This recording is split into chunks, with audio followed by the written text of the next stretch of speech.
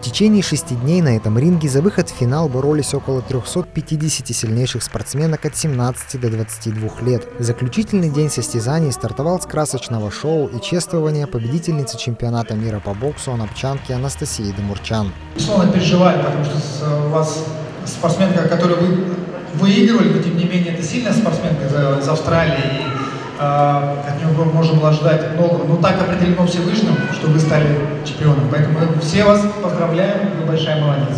Это комплексная работа. Федерация бокса России. Раз. Федерация бокса Краснодарского края.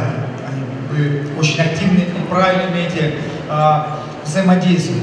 Словно это и правильная позиция поддержки спорта нашего губернатора Словно это позиция нашего на, главы города Анапы Василия Александровича Швецкого. Анастасия, мы поздравляем тебя от всего нашего города, от всех наших жителей, от всех спортсменов. Поздравляем всю твою команду во главе с твоими родителями и, конечно же, тренером.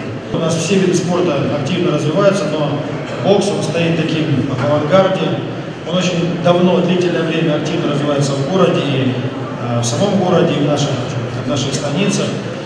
И как результат мы сегодня видим, что Федерация бокса города Анапы, и в частности спортсменки наши, спортсмены, они занимают лидирующие позиции в целом не только в регионе, но много где по стране.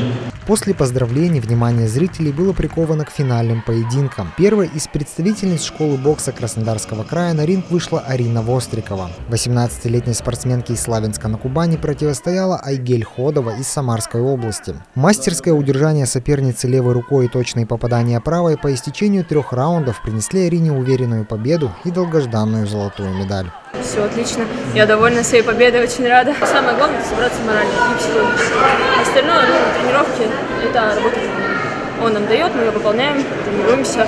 А нам, как спортсменам, выполнять эту работу и морально подготавливаться. По итогам соревнований сборная команда Кубани завоевала 11 медалей разного достоинства. В копилке анапских спортсменок золото Анастасии Куоль и бронза Алины Пушкарь.